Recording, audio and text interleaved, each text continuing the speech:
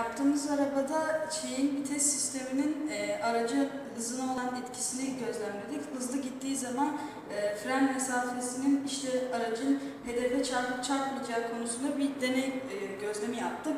E, burada büyük e, kasnaktan küçük kasnağa enerji attığında bu bir tur attığında bu daha çok tur attığı için bu daha hızlı gidiyor.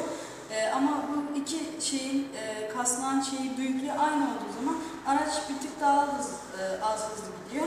Hızlı olan e, aracı şey yaptığımız hedefe doğru ilerlettiğimiz zaman çarptığını gözlemledik. Bu da bize e, hedefle araç arasında e, belirli bir fren mesafesinin olması gerektiğini gösterdi aracın yüksek hızından dolayı.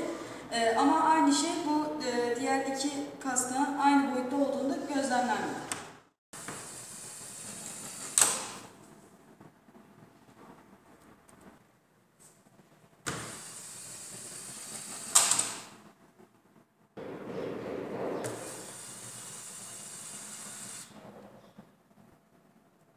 Lütfen güvenli takip mesafesine uyalım, uymayanları uyaralım.